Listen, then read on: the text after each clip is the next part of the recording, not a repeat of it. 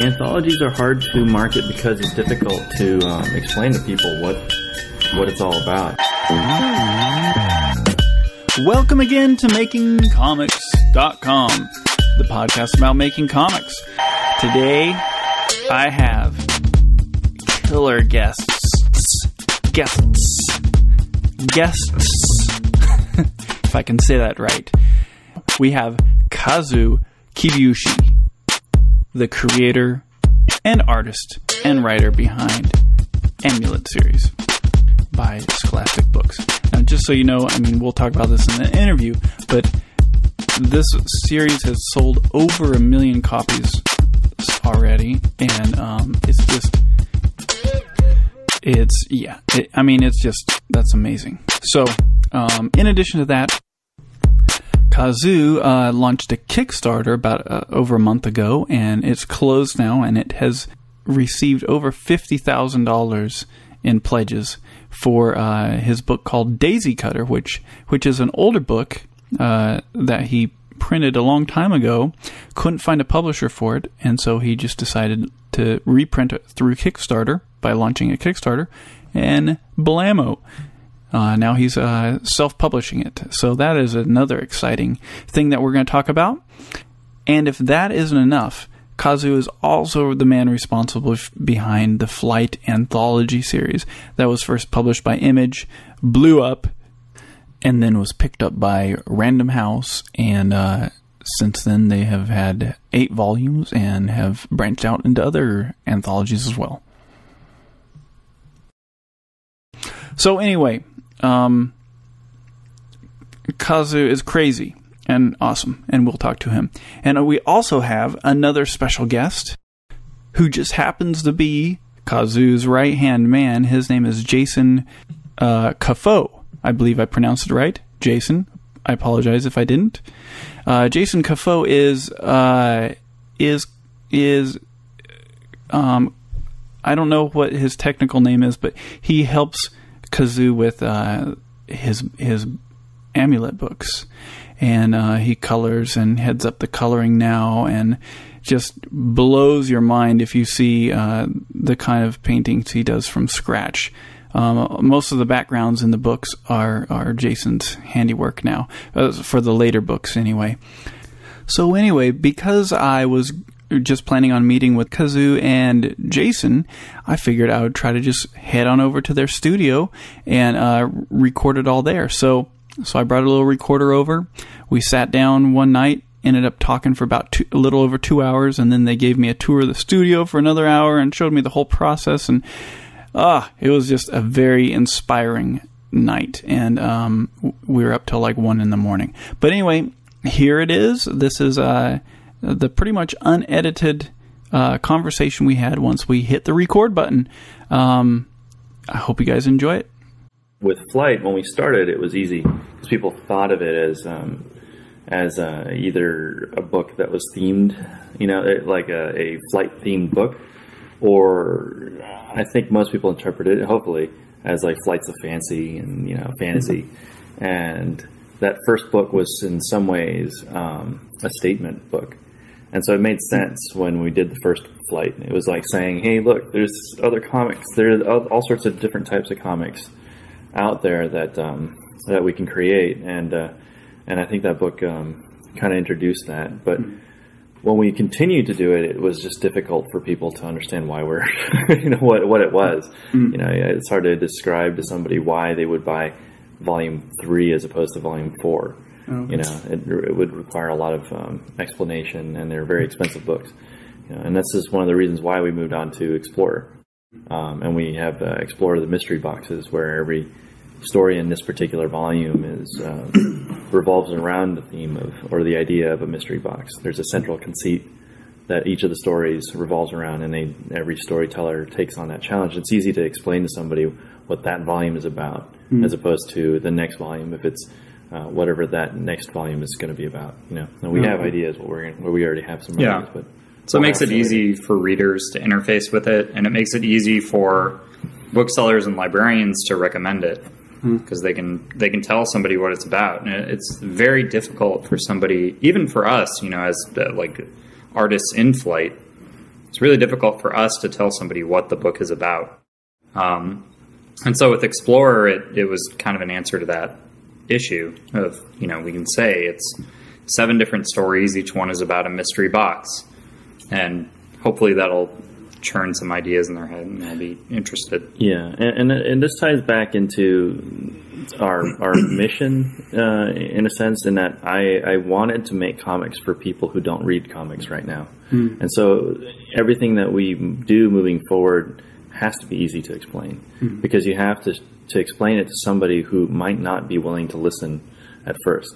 We want to to you know perhaps, probably we're really reintroducing comics to them. Mm-hmm. Because they haven't read comics of the quality that they're probably seeing in not, not necessarily our books but I mean if, mm-hmm. if we if we do our job correctly then mm-hmm. then we're we're showing them the kinds of comics that they probably fell in love with when they were kids and they hadn't seen since you know? And so um, in order to do that well I feel like we have to be able to explain ourselves at every turn and uh, that's just one of the reasons why we shifted gears into Explorer Oh, okay.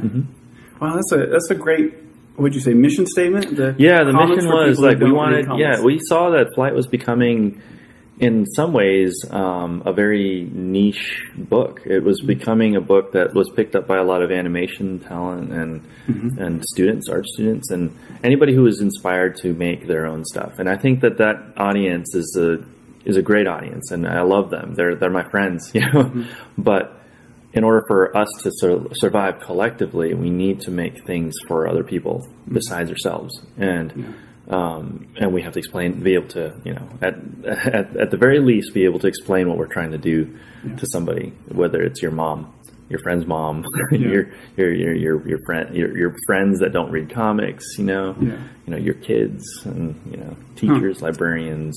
And it's interesting too because with the amulet, we're making comics for people who or kids who don't read at all. You know, they're they're very reluctant to um, get into reading, and we get a lot of mail from parents just thanking us for you know the book that got their kid into reading. And so that's kind of the, the focus we have with that series now is trying to propel kids into, you know, really good literature by giving them an easy entry point.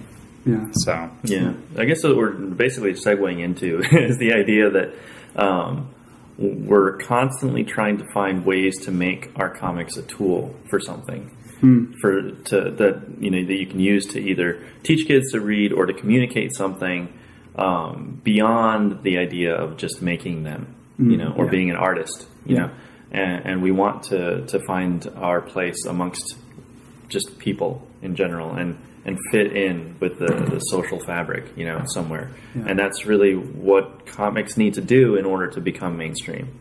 Um, but in, in Japan it makes sense because of the mass transit you know. Well for one it was because someone like Osamu Tezuka had arrived and had created he was a he was a doctor who made comics for the people you know. He was a doctor. I mean he had a, a degree in medicine and then he switched into he went into comics because that's what he had done, been doing for so much of his life. And if you read his comics, they do they they feel like little medicine tablets, you know, for the people. And that's I think the way they they saw it, especially in post-war Japan. There was this pessimism of having lost the war and all these things, and you have something like Atom or Atom uh, uh, or um, um, Astro Boy, right? and and in some ways he's kind of like a, the, their Mickey Mouse in that he's kind of this um, this icon for post-war Japan, you know, and he's he's servicing the country in that way, and they they really put him on that pedestal and said he is our man, and then comics became so important to them and so ingrained in their culture, um, and then it became ubiquitous, you know, and it was everywhere over time, and that's how comics become mainstream. So we, we sort of need more people to think about themselves more like doctors or engineers or Yeah. the people who build our cultures, you know, Yeah.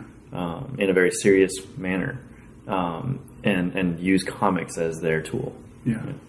That's great. So, so when you think about like where Amer- America is with comics, like Marvel and DC type stuff, um, it, obviously it sounds like you're looking at it a whole, completely past that, like more Right. like not just entertainment, not just making artists happy, but Sure, drawing sure. stuff. Well, I, I wouldn't I, I wouldn't fault Marvel and DC. I don't think Marvel and DC did anything necessarily wrong. They're probably not quite as good as they used to be at making the comics for the people. Um, a lot of it is probably because they just have a a need to succeed. Yeah. You know, But also, so- I don't. I mean, I don't necessarily think they knew that's what they were doing during Right. the golden age, and Yeah, probably not. You know, but they were creating they were creating um, modern mythologies, Mm-hmm. and they still are. And I actually do think, even today, that the folks at Marvel and DC kind, you know, and to some extent, know what they're doing, in that Mm-hmm. they're trying to maintain the images of their cultural icons, their their modern myths, Yeah. and saying here's here's the modern myth of Captain America. We need to. This is the canon. We want like you, the hired artist, to follow that and to yeah. to put him back up on that pedestal. And, and I think in that way, what they do is actually pretty valid. They're just not doing it as effectively or as universally as they once did. Yeah. You know, and but it's not. You know, I, I don't. I don't think they're doing anything wrong. They're just not doing doing it as well. That's all. Yeah, yeah. Very cool. So, um, I guess before we move on from anthologies, um, it seems like there's a lot of people trying to do them now. Mm-hmm. And um, so, besides having like a, a theme that's easily, easily explained, like a log line or something, like is there anything else that you would consider? Like, what if I, as an artist, were to write a bunch of stories and and draw them. Well, I guess what Jake Parker did, like, and, and make an anthology of his own Yeah, yeah. books. I mean, Do you think that's a more successful model? Um.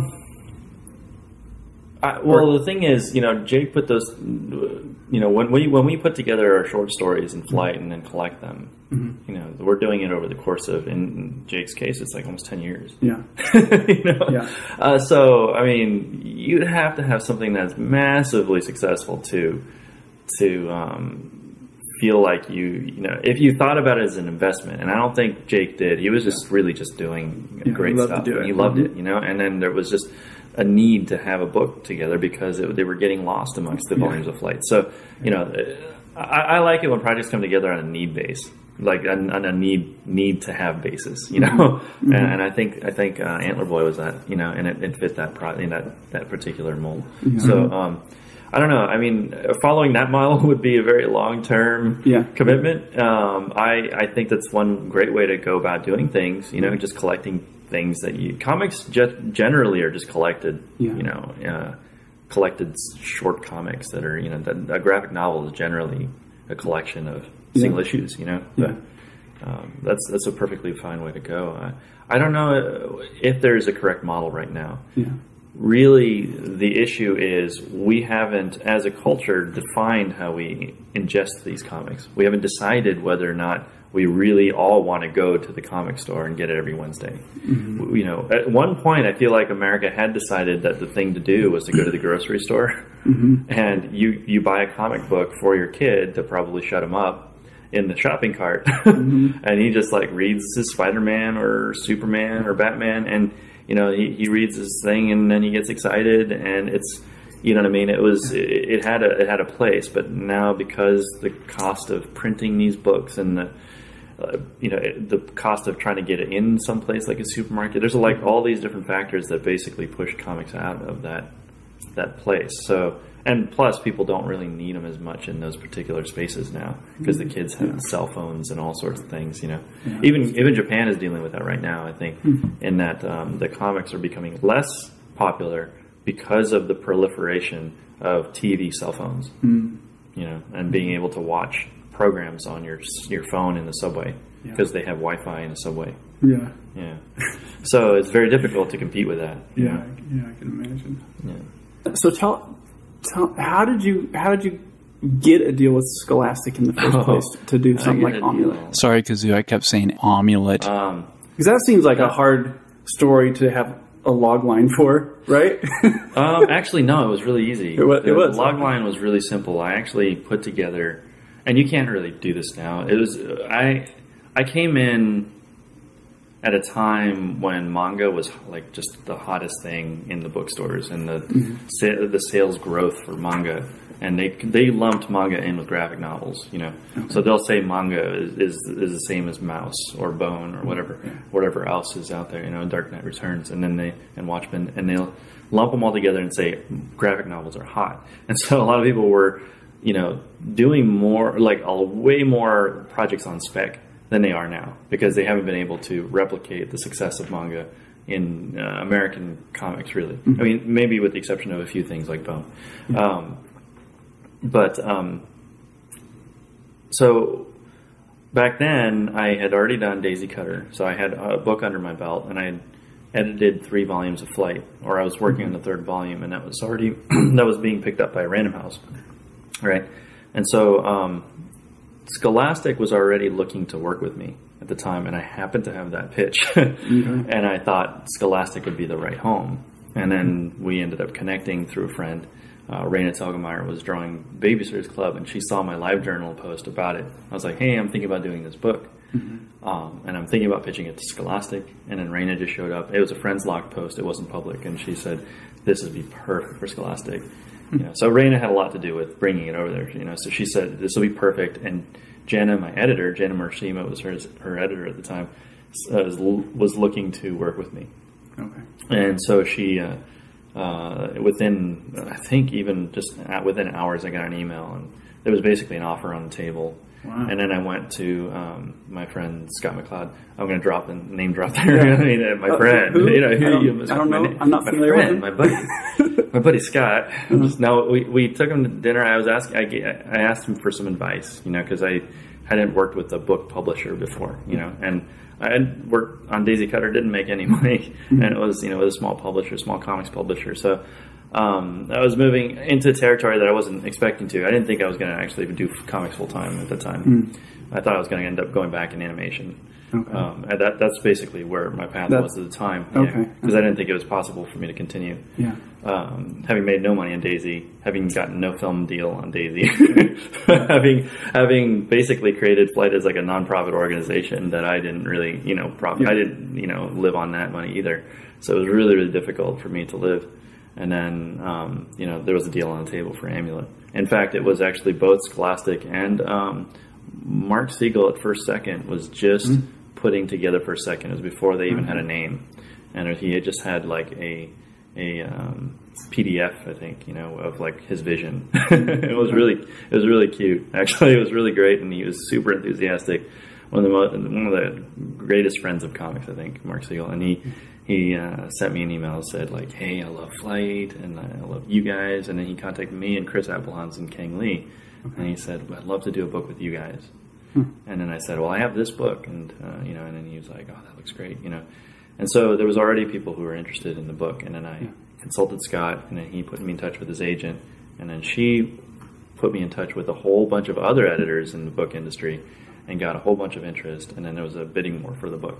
Wow. And so I ended up, uh, and then all of a sudden I was, you know, I guess uh, me and Craig Thompson that year had become like the highest paid graphic novelists up to that Wow. point. Um, it's still not a lot of money at the time because it took me two years to do that first book. So, you know, it was still like, you know, less than my salary that I made, you know, when I was working in animation or as a graphic designer. But, um, but it was something, and I was still able to live, and it was fantastic. And at that point, I kind of knew that this would be what I'd do for the rest of my life. Oh, cool. Yeah. And I heard that some, I think in an interview with you somewhere saying that the first book sold 250,000 copies. Is that right? Oh, at the time that uh, we were pitching Daisy, yeah, it sold probably close to four hundred thousand now. Really? Yeah, it, that was a while ago that we It's pitched just Daisy. insane. Yeah, the I, mean, first I don't book know is- anything mhm. comparative other than Bone, of course, or of course, way over. You know, Yeah, way for over the for the series, we're close to a million now. Million books, yeah, which is excellent. Scholastic Amazing. has really interesting distribution. You know, like they have their own special channels though too. So it kind of goes, we fly under the radar in a way. You know, unless you go to a school and you just mention amulet and bone, and then mm-hmm. you'll just see like all the kids like go, yeah, you know, uh, and then and then they every, all the kids know about it. But you know, I feel like, you know, because we're not on like books, like a lot of the BookScan numbers don't show up, and you know, Diamond, we don't. I mean, Scholastic doesn't really push their books through Diamond. You don't really oh, see. really? Okay. Yeah, so you don't see us on like your regular sales figure, you know, channels that, that most people take a look at. Um, interestingly enough, I think the New York Times takes into account like a lot of Scholastic's channels, and that's why we were on the Times bestseller list for 16 weeks, but Wow. for Amulet 4. Okay. Yeah. But um, but the books, yeah, have been doing have been doing well, and we're still alive. Yeah. and how long do you see? Holding on by the skin of our teeth. I'll, I'll tell you that though. It's not has not been easy. Yeah. You know, it's not like we won the lottery. That's for sure. Yeah. Yeah, we've made some sacrifices, and, Yeah. And Jason's seen how hard it has been for me. You know, I I take loans. I do things like you know just find ways to keep us going. You know, um, but it's worth it. Yeah. You know, and in the long run, it's going to be well worth it. Yeah. hmm Yeah. It already is. It's already fantastic. It's been fantastic. Yeah. Yeah, no regrets. Wow, that's exciting. It, it just seems like it's. I've talked to so many graphic novelists, and, and, and, and everyone's struggling to sell like you know 10 10,000 copies. Yeah. And then I hear this, you know, I'm just like, it's just it blows my mind. So I mean, it's It's, It's all the- about, it's it's about amazing. distribution. It's not Yeah, I I mean, mean, like it's if we the benefit of working books, with a publisher. if, we, if we hand sold these books, we'd have the same problem. but you know? Yeah. but even other people that work with big publishers, you know, they're Mm-hmm. maybe they're approaching forty thousand or fifty or Sure, you know? sure, yeah. I Um, mean, uh, and, and again, I, I feel like, um, um, I, don't- I don't know. I mean, I, I took a lot. I, I took really painstaking level. I, I did painstaking levels of research. You know, like just to try to, like, I, I'm not a market research type of guy, but I did want to make sure that I was fulfilling a need and not just my own personal desire to make this graphic novel. I wanted to make sure that I wasn't undoing the great work that J.K. Rowling had done Yeah. at Scholastic because we were uh, we were in effect like living off of Harry Potter money. I mean, it was it was Harry. If without Harry Potter, this strangely enough, without Harry Potter, Amulet would not exist because Harry Potter's success allowed for David Saylor, the creative director who designed the Harry Potter books for Scholastic, you know, to um, to have to have the ability to go and make an imprint. And because he loved comics so much, he made it a comics imprint and he created Graphix. That's how it started. Yeah, and it was directly from the success of Harry Potter, and so, mm-hmm. you know, and I, I just, as a, you know, a responsible individual, I just didn't want to take kids away from Yeah. literature. Yeah. You know, and at the time I was like a little bit afraid of that because I think that people, when they think of comics and they see comics, there is that stigma Yeah. that Oh, the kids are going to become dumber or something. You Mm-hmm. know, that the kids are going to be taken away from the books, the the real books. Mm-hmm. You know, um, and I wanted to make sure that people knew that I was being very mindful to not allow that to happen. Yeah. You know, and I wasn't sure how that would come into play until after Amulet One went out there. And then we got these emails and these letters, and Hmm. we now get them like all the time. In fact, today we just got this long, Yeah, we just got great, fantastic email from somebody who was just saying, haven't you? No, my, my son is a you know is a third grader who has a very tough time reading, and he's it's been a struggle to get him to read something, but he can't put Amulet down, you know, That's and so he just he just finds a way to he wants to keep reading the books, and so when we read that, I, I hear I see that, and I'm like, I obviously have found a need that we fulfill, Mm-hmm. and that's that we are the people, we're the gate, we're the gatekeepers or the kind of the hosts at the op- at the door of the library and the bookstore. Yeah. we're the ones who say, you know what, the water's warm, come on in, you know. and it was it was important that we found that audience and that we recognized that and then we like we kind of started nurturing it a little bit you know so we um, we definitely played to that that audience you know? Yeah, I mean, uh, unlike Jeff, Jeff, uh, Jeff Smith uh, with Bone, you know, he, um, Jeff will often say that he he did, um, he was just drawing for cartoon heads, you know, and uh, people who just liked the type of things that he liked. What he does discount though is that he's an incredibly empathetic individual, and that is essentially what you want to see in somebody who takes care of children. That he would be a great dad. That's what it comes down to. He, he's a great parent, and to me, he's been a dad to me. You know, like I see him and Scott McCloud as my dads. You know, I really, I really see look at them that way. and I respect and admire them in, this, in that way, um, and I think that the kids do too. You know, so um, even though he may not have assumed the role, you know, of being the parent, he is that type of person, and that shows in the work. And so the kids gravitated towards it. You know, and in our case, I felt like I kind of had to work into that role. I had to work to be like Jeff. You know, Yeah. like how do I be that guy? Because I'm not quite that guy, and I'm still like young, and I didn't have kids and stuff. You know, I did, just it wasn't it didn't come naturally to me at first, and I, I kind of ended up growing into it. Um, but it was important, like Jason said, that you know to recognize it and then and then try to bolster it. You know, Yeah. and, and it ends up making my job easier. It makes makes the publisher's job easier.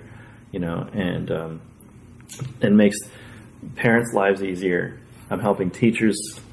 You know, helping helping librarians, Mm-hmm. Yeah. helping booksellers. You know, there's. But not only you- that, it makes the work better. yeah, And that, like, Yeah. that's the really interesting thing. If you think about most creative work, you know, it works best as a conversation with somebody, as like you're you're speaking to an audience, you know. And once you recognize who that audience is and who it's for, it makes it easier for the work to kind of find itself. You know, it it just becomes better. Yeah, I mean, I think we live in a generation of kids who've kind of grown up on the behind the scenes DVDs and things like that, you know. Mm-hmm. And so you hear often from artists say, who like who you admire, say, "We just did it for ourselves," mm-hmm. you know.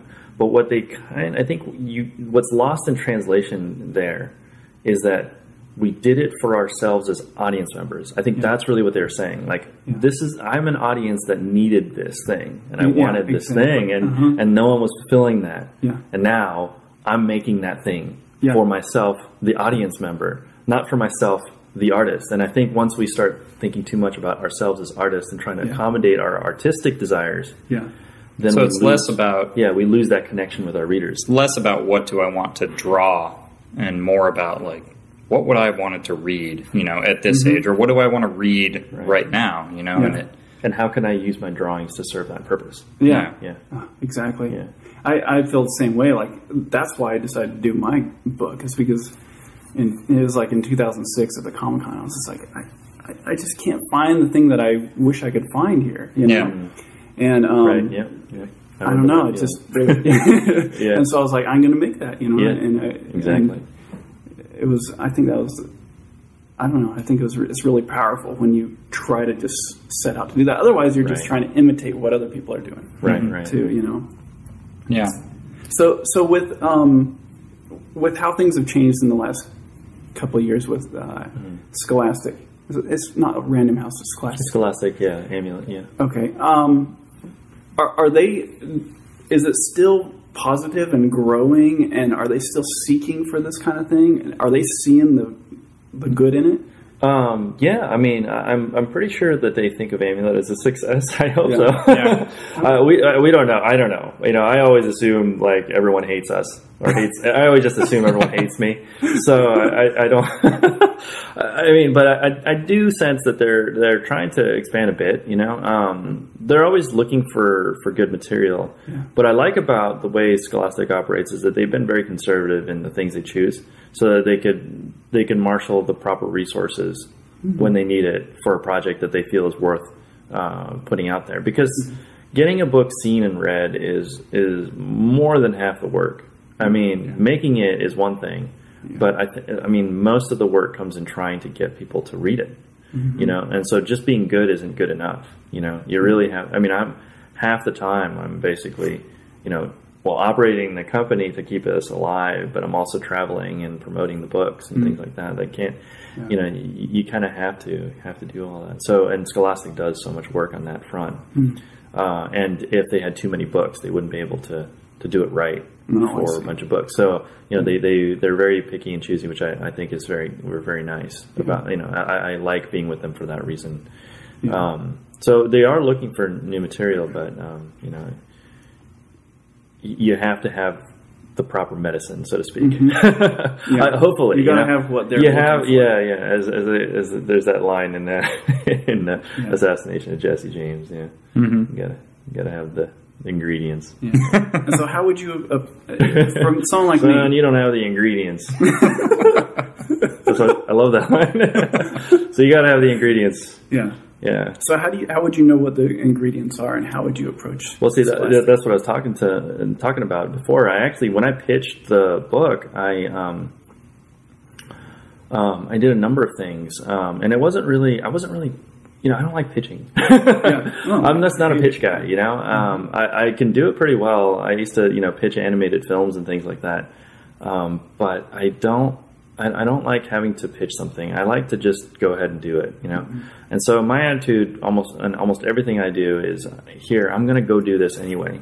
Yeah. And if you'd like to, if you'd like to partner up with me, you know, I'd be so happy Yeah. to, you know, to see you there, you know?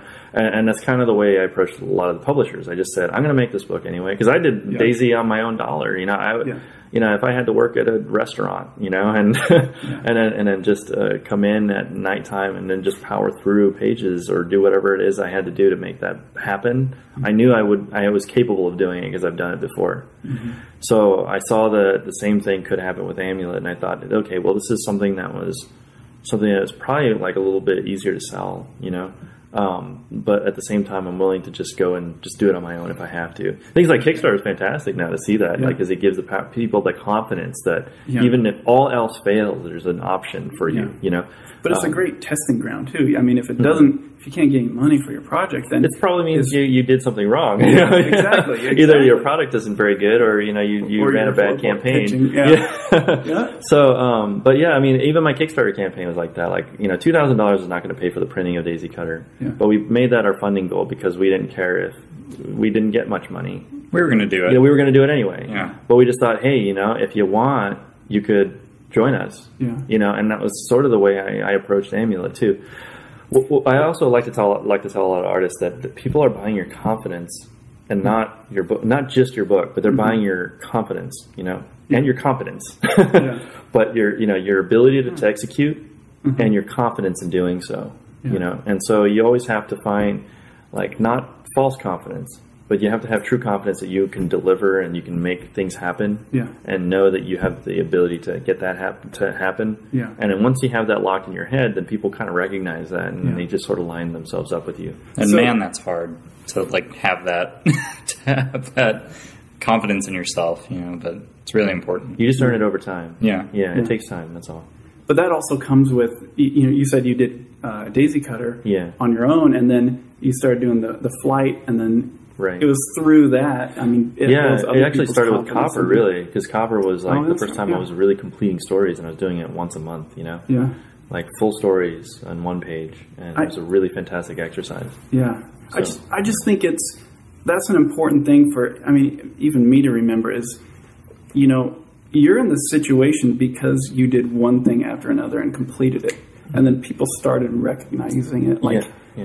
three, four, five books in finally. You know. Well, I think that's. I'm I 10 mean, years that's in now. Yeah. People Yeah. think I'm new. Yeah, it's- yeah. no, I mean, it just takes time, but you know, if you can have this attitude where you would have done it anyway, Yeah.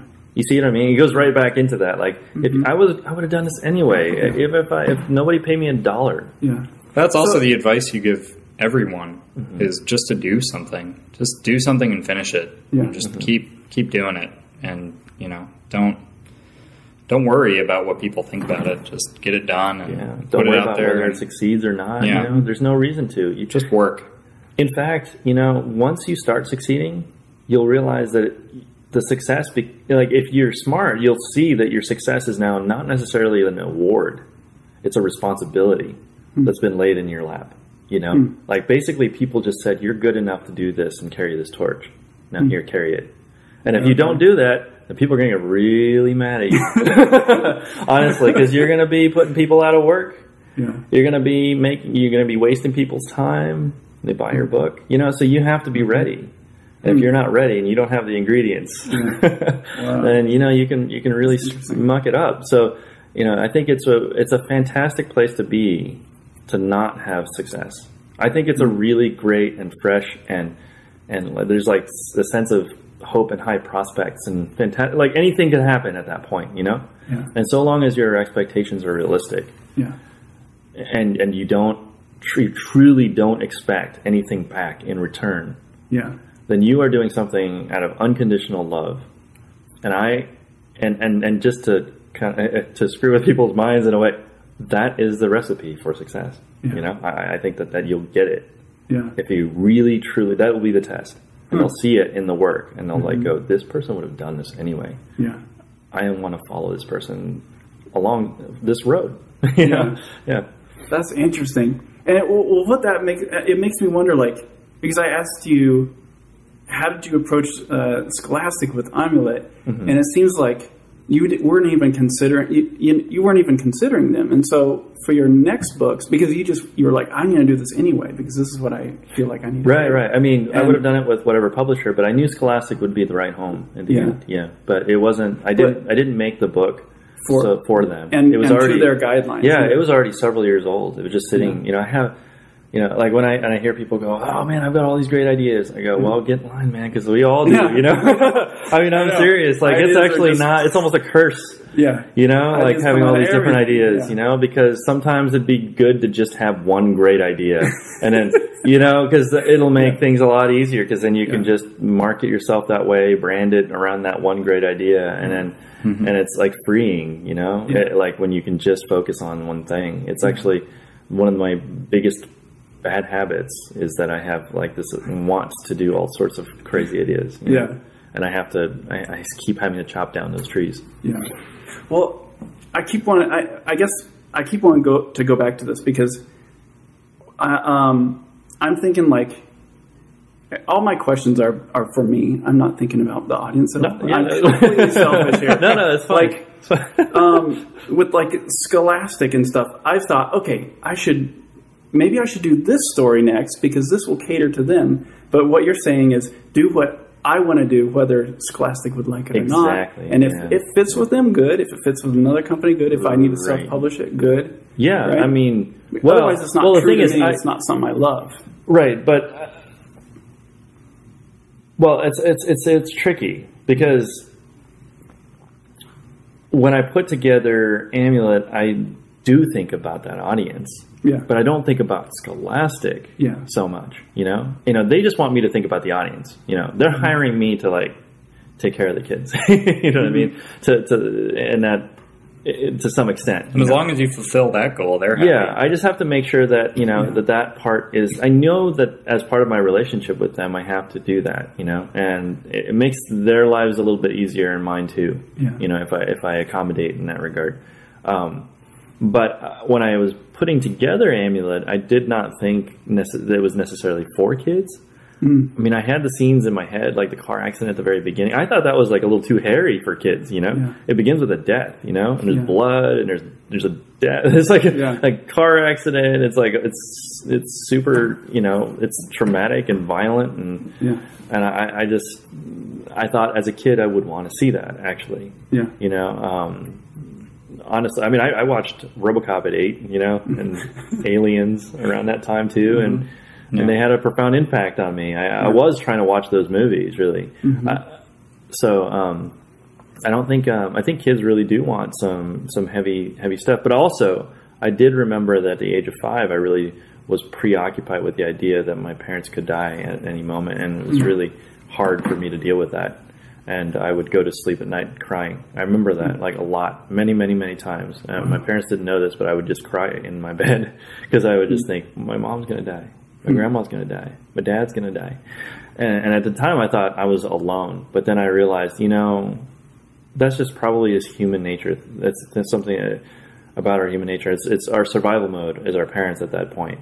They are everything to us. So, you know, just like you might be afraid of losing your job the next day, you're afraid of losing your parents, you know? Yeah. And so, you, you know, to be fully honest with those kids, I, I felt like, hey, you know, I would like to basically go in there and say, hey, I thought about those things too. Yeah. So then they, they think of me as an equal in a way, and then Yeah. we're now we're in a discussion, you know, like Yeah. in, on an even plane, Yeah. and then and then we can go on these fun adventures and things like that, you know, um, and and we have their attention. Um, I- if if there's a secret to amulet success, I think it's that there's like I do as much as I can to understand my ten year old self hmm. or my five year old self. You know, hmm. I, I really think about what I used to be like. Hmm. And I was telling somebody the other day that you know the big thing about amulets is it's like a, a letter that I send. It's like a care package I send to my ten year old self Okay. that says, "Here are the things you might want to think about. It's coming up. You may want to to really think about these things, just because it may help you." And here are some robots and some ro- and monsters and cool cool stuff along the way. You know, here's some extra. Th- that's part of the care package. You put the candies in with the medicine, right? Yeah. So um, that's kind of the way I, I think of amulet. You know, again, going back to that idea that to think of your doing something for yourself as an audience member and not as an artist. Yeah. You know, and and when I was when I was that age, I was not yet an artist. I didn't realize that I had the capability at any point in my mm-hmm. life that I'd be able to do something like this. Yeah. It was just magic to me that somebody would make something like this. So I have to remember that that's the way that that's the way we're going to interface with our audience. Yeah. It's magic to them. So Wow. I, I kind of just erased myself behind the scenes. You know, Yeah. I'm behind the curtain on on Amulet for the most part. The characters, you know, are the book, not me. Yeah. Interesting.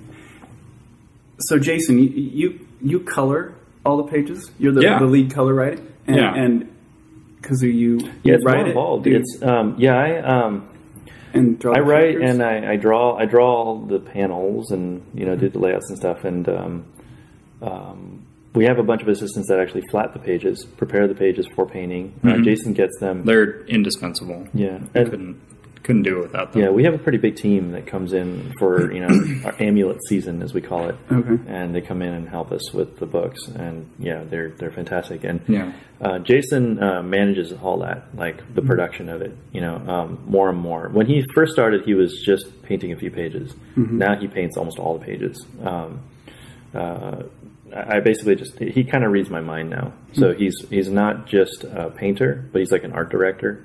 You know, I sort of just you know treat my job as like I'm a director. Yeah. Well, I mean, for uh, like in terms of what what I have to do for color, um, not only am I coloring, but I'm also uh, like creating the backgrounds for many of the panels because Kazu just doesn't draw it in just to like keep the speed up and just focus on character and story and Yeah. all of that. So uh, a lot of the time, um, I have to like create backgrounds for pages, or you know, we'll have entire spreads that you know I kind of have to create out of thin air. That's mostly just world building stuff and um, stuff that I just absolutely love to do, and Kazu doesn't really have time for anymore as much as he loves to do it. Um, Yeah, no, I absolutely. That's the thing. I love doing it, and Jason knows it. So I have Yeah. to. I basically get kicked out of that room to Yeah. focus on the story stuff. Yeah, so it's it's a really um, it's a really fun job. You know, I, I kind of feel like Kazu. While we're working, I always think of it as like Kazu is working for the first read. You know, for like the the readers like first time through the book. You know, they're just getting the characters, the dialogue, they're reading the story, and I think of myself as working for the second read. So when kids finish it and they immediately flip back to page one and they're like, "Oh, what was that in the background of that panel?" Or "Oh, look at that guy back there." You know, like that kind of stuff is what I work for. It's kind of like enriching the space and the world and um, making sure that the book lives in kids' minds outside of the pages. You know, that they're like they continue thinking about it and that it, it feels like a place that they can go to. Um, Yeah. so it's, a, it's an awesome job. Yeah, I never, I never thought when I was working on all my older comics, I never thought of the color as um, something that's just color, just adding color to something. You know, I always thought about it as like an extra layer of storytelling. And in order to tell a good story, it takes time to do it, you know. And I wanted to make sure that everything wasn't rushed. I was when you look at Amulet One, I had to indicate so much because of my production. Like I had a, I had to do, you know, four or five different things per page, you know, including hand lettering that book actually, Oh, you know, all the way through. And uh, and I just I had to make sure that I had left enough time for me to be able to do all those things, and then scrap it and then scrap it all and then do it again. Yeah. um, so now um, having Jason here allows me to put more focus on the writing, and so I think the writing of the books gets better. Yeah. And and it's not necessarily because I'm getting better. I think it's just because I get more time on it. Because before there was no time. I mean, I'm having to draw so fast. Yeah. You know, and it makes me sad because, like, I think people think that I have an enormous amount of time to do these things. Yeah, and- we, and we, we just don't have very much. You know, Yeah. and we do a book in about seven months. Wow. Yeah. Yeah. Wow. Every year. And from like that's from sketches to final. Yeah. You know? Yeah. Yeah, and, like- and when, when you're writing that, are you kind of making a lot? I of just have as to. you go? Yeah, it is like literally like having a, or no, it's not literally, but figuratively. Yes. figuratively, a uh, metaphorical like it's statement. metaphorically. Um, it, it is. It's totally like um, laying track for a, a steam locomotive that just heading barreling down the track. Wow. It's the deadline. Do, Yeah. do you ever get stuck down the road since? You just have to force yourself to get unstuck. So, okay. so your approach Yeah, I to do get stuck. I, did, I get stuck. Is your approach Yeah. then like like you know the characters, you let them tell the story? Sometimes You kinda just it's, it's subtly guide it? It's it, it's not always like that. Okay. Um, there is a plan, but it's loose. I try to keep it loose so that everyone. I, I, I sort of just see it as like a bunch of different rooms, maybe about twelve rooms, twelve spaces. Okay. You know, and each individual space is like its own story. Like each scene, there's like twelve to fourteen scenes per book, and um, each one is its own story. And that's actually how I handle the whole thing. Is I basically self serialize the book because if I tried to write and draw and think about every little part of the book all the way through, uh, my brain would explode. I've already tried. I've already tried to do that, and I can only get up to about 100 pages until my brain is just so wired Okay. and so like fried Yeah. that I just hate working on it. You know, and I can't stand it. So what I do now is I force myself to look away from certain scenes. So if I get stuck at something, I will actually just move to a whole nother sequence that might um, be something I can unlock. You know, I look at this scene and go, you know what? I think I, I think I've got the ingredients, uh, so to speak, uh, for that particular scene. Yeah. More so than I, I, I do for this particular scene. So I'll just move over. So the book actually comes together really organically now. Mm-hmm. And for the last two books, the like the very one of the very first scenes in the book is always like one of the last that Kazu works on. He just kind of like skips through, you know, works on like the beginning for a little while and then later on and then that'll unlock some ideas that he can take back a couple Right. scenes and Okay. Yeah. So just Um, in the making sure the book- beginning and the end Yeah. kind of tie together. Sort of. It, it, it gets even more complex than that. In the fifth book, it was really challenging because Yeah. I wanted there to be a massive change of pace.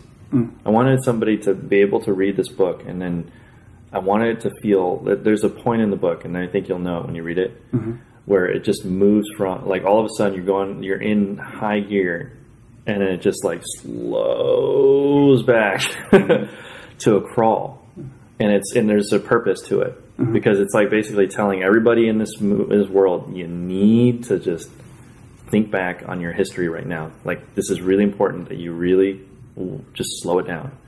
And when you write, you kind of have to be physically and mentally in that same headspace. So you can't really go from super fast to super slow on the same like pace deadline. So what was really complicated about five, and it's hard to talk about it without actually spoiling too much of the book, but um, I actually wrote the slow scene in small chunks over a long period of time. And this was actually weird. It was interesting for me because as a writer, I felt really, it was very deliberate. Um, I was actually trying to make it really slow, and I was trying to discover a lot about that scene in, in tiny, tiny little chunks. And so when you read it, even though the words, there's there's the same amount of words as a fast scene, or the same amount of panels as a fast scene, it doesn't feel fast. It feels very slow because that's where I was in terms of my head headspace. I forced myself in that headspace yeah. by not working on by working on that scene early on. And there are even there are early drafts of it that do have like a sense of urgency going from you know um, place to place in that scene, but you know like those pages got scrapped and then it just slowed down a little more, and so it's, it was really interesting to see. It's, it's kind of like kneading bread. Yeah, seeing that scene in particular come together over the course Yeah. of the production was really interesting.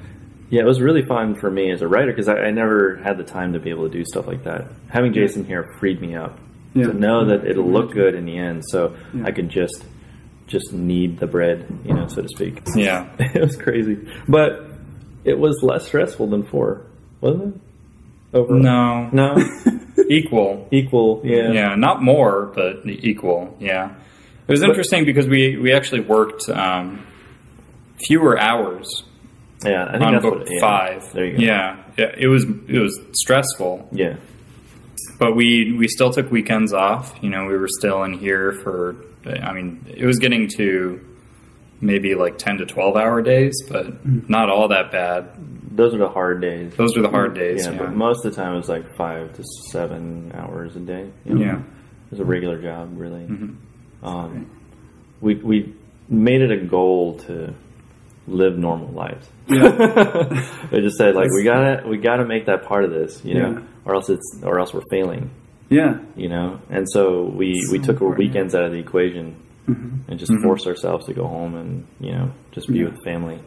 And it was great for our sanity because then by the time you come back on Monday, you really want you're geared to work. Yeah. Yeah. You know, and if you really needed the weekends, you got them, Yeah. and it's Yeah. like they they can bail you out. And we did. And we yeah we For that last- maybe like a Saturday or couple so. weeks, yeah, yeah. we would do Saturdays and That's cool. Yeah. no all nighters though. First yeah, time no all nighters. think First ever- time on Amulet that we didn't pull an all nighter. So Yeah. it was, that was a That was milestone. fantastic. Yeah, Mm-hmm. wow. yeah, we were up late once. But I don't think we even That was at the could. very very end. I don't think we could pull an all nighter on that book. Like we were both. Yeah, pretty we're both pretty fried. But the thing is, we, we basically managed um, the crunch because Mm-hmm. we saw it coming about three or four months out. I just told Jason, "Look, it's coming Mm-hmm. because we are now so far behind." Mm-hmm. I mean, we would have to do we, we we literally had to do twice as much work Yeah. as number four in the same amount of time. Mm-hmm. And we're like, how good? How much better have we gotten? That was Yeah. the thing. How good are we? How good are we? How good are we at this? How good are we right now? Um, I know we're better. I know we're faster. Yeah. I know we're more confident. But are we this confident? Can we do it double speed? and we like thought, well, if we just let's just do the math. And I actually set up a spreadsheet for us, and there was an equation that gave us like the exact amount of work we had to do every single day on a on a network day, which means it's on any of the weekdays Okay. and and if we missed that mark on a day, then that number goes up incrementally. Oh, okay. Yeah, and so we had a counter, and we can watch it, Mm-hmm. and so it's like a game. So, every day you type. yeah, in we were just yeah we were just like we just tell we just tell the spreadsheet how what we got done, and it'll tell us how much we need to do tomorrow. Uh, and that way you don't have to worry about 10 days out. You don't have to worry Yeah. about 15 days out. You know what I mean? You don't have to worry Mm-hmm. about what happens at the end. You just have to worry about what happens tomorrow. yeah. And when you bring it down to that level, it's stressful, but it's manageable because it's easy to see. And I, I think that was really, really important. It was a great lesson that we learned on that, Mm-hmm. you know, in terms of our managing the amount of work that we have to do. Okay. Yeah. It's one of the hardest things to do as a comic artist is to have that self discipline to manage your time. You know, when you're when you're skipping around from writing to drawing to inking to all of that stuff. And you know the like all you can think is I just I need more time I need more time on this. Yeah. you know and you're not thinking about like but I have to ink it you know and I have to and then I have to paint it and I like uh, all that factors into the amount of time. Um, when you just have that sense of immediacy, it's hard to get a sense of like the entire project and like how much time you actually need to get this thing done. So And so Wow. a lot of times, I mean, speed. I mean, speed is just is the key. You know, Yeah. that's what Doug. Yeah, I was just you know, thinking the same thing. That's Doug's, what Doug Doug's says. fantastic. You know, He's so fast that guy. Um, but yeah, I mean, I, I, I had to teach myself to draw super fast. I had to finish, force myself to finish pages that I couldn't finish. And by that I mean there are pages in Amulet where we just go without dialogue. I just go with by feel. I go like, okay, well, this something like this happens in this scene, hmm. so I'll just do four pages of this stuff, and I'll just make it look like they're talking to each other. Hmm. And at some point, And I paint it. and- yep. and then it's the, like the last thing we do. We'll add dialogue to it. yeah. Oh, I mean, there Just there are like four or five page sequences that Most are like people will that. never, never know which ones they are. Actually, yeah. Oftentimes, they're actually some of the best. Yeah, and that, I mean it's really interesting because in book three, It's the Marvel way, I guess. yeah, Yeah. book Yeah. three, yeah, it is. book three and That's book how do five. two of two of those scenes are they, they end up being kind of the crux of the book Hmm. in a lot of ways. It's really really interesting.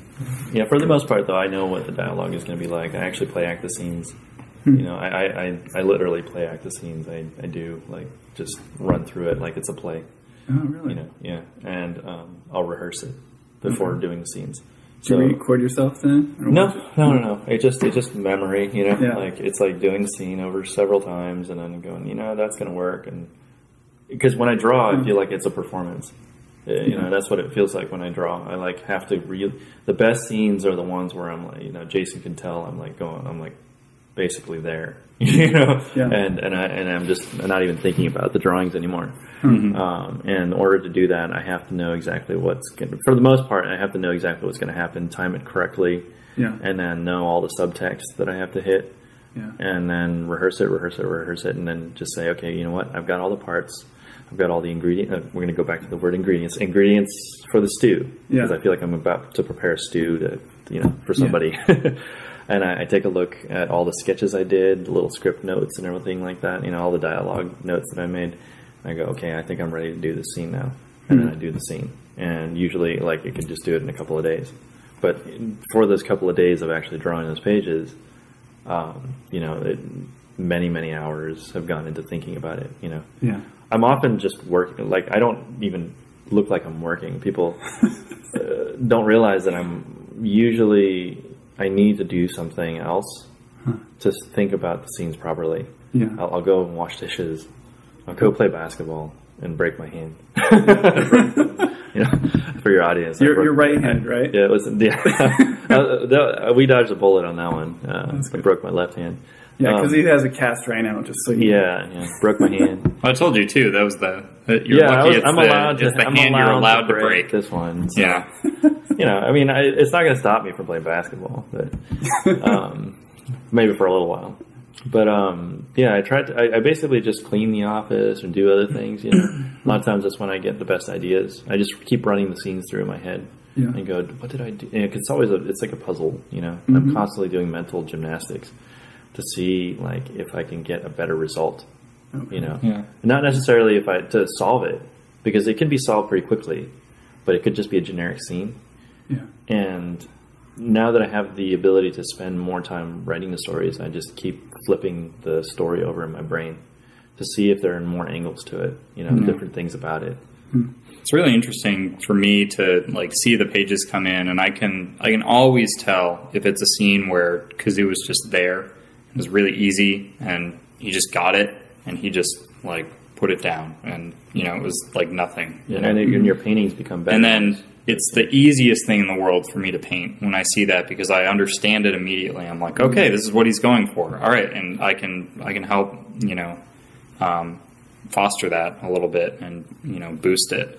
Um, but then there are those scenes where I can tell he's just like pulling his hair out, trying to finish it, like trying to figure out what it's about, right up until the end, and then he kind of like scrapes by and gets it, but not quite. So I know it's one of those scenes he's going to go back to, and when I'm reading it, I just can't, for whatever reason, I just can't get a sense of it, and those are the hardest for me to take to final. And you know, there were a couple little sequences like that in book five where it was just so hard because I knew he was still like close, like almost there, like kind of had it figured out.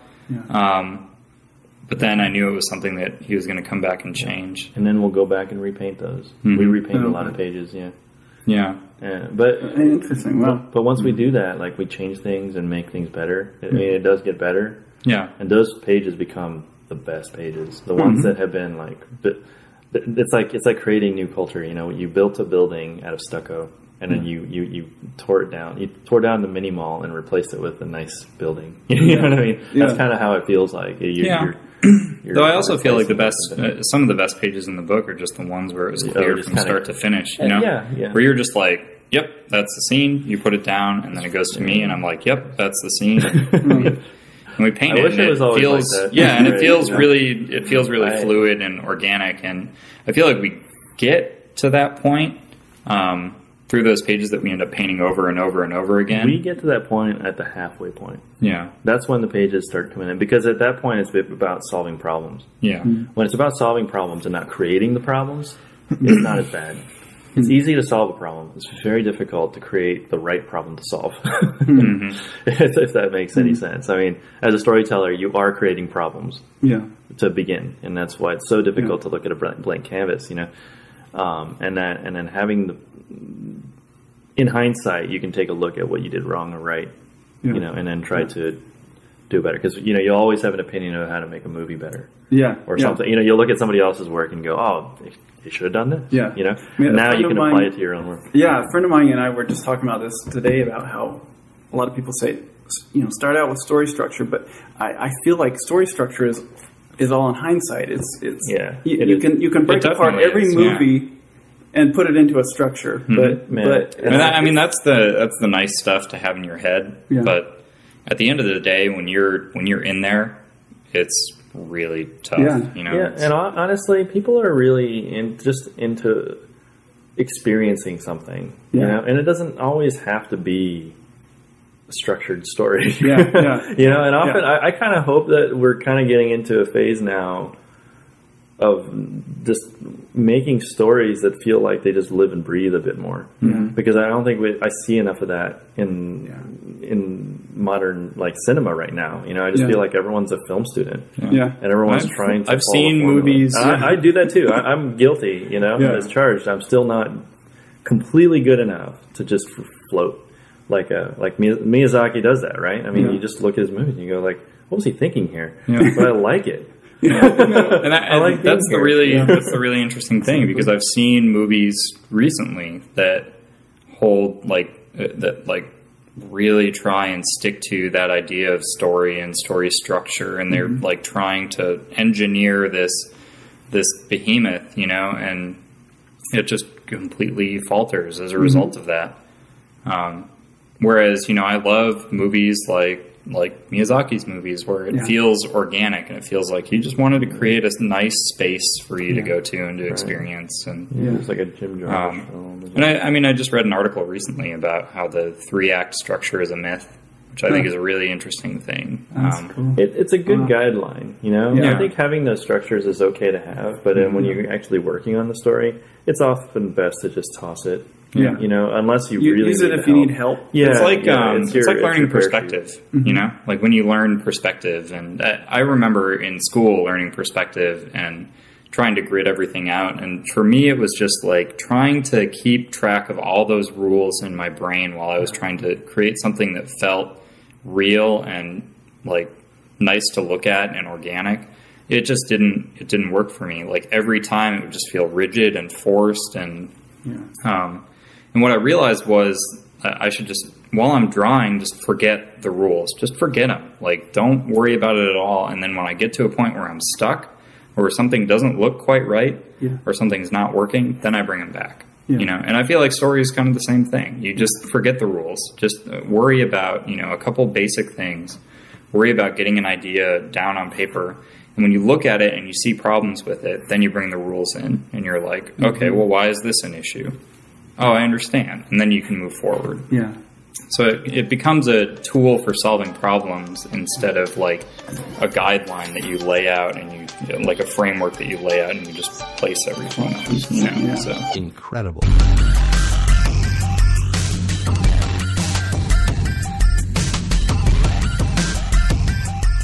There you go. That's part one of the conversation. Uh, as soon as I can get a little more time to do some more editing, I'll shoot out part two. Until next time, see ya.